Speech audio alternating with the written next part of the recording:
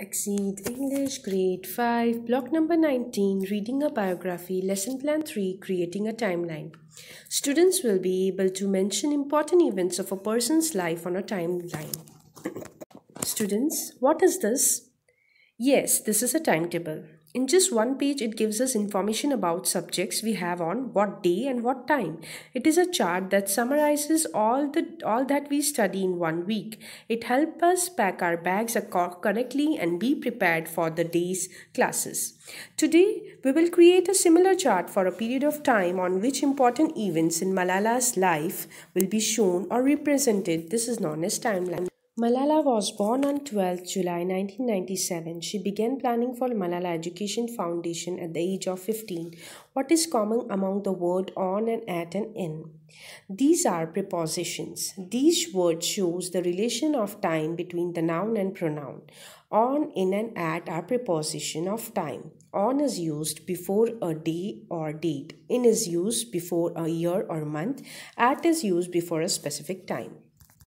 We filled the timeline with events that happened in Malala's life. Some events that had a big impact on her are talking to the newspaper and television channels against the group that wanted to stop girls from going to school, meeting the prime minister, and being shot.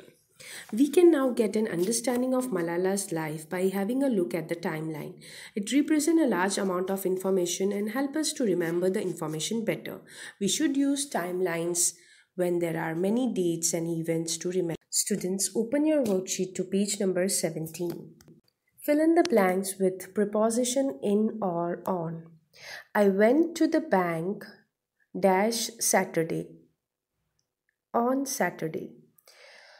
My cousin sister got married in 2011. I go to my grandparents' house in May every year.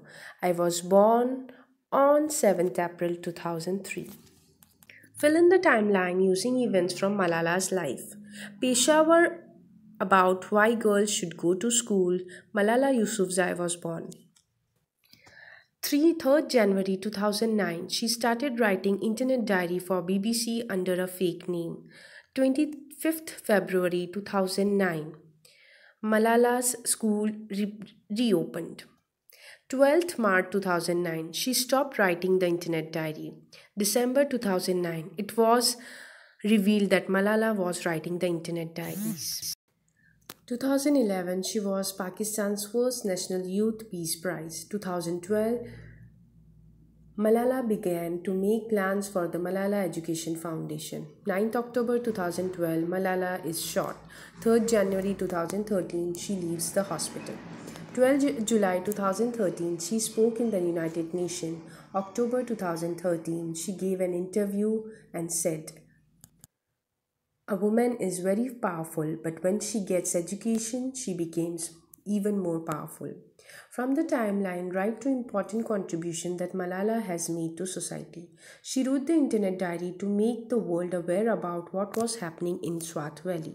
She spoke in the United Nations again saying that every girl should get educated.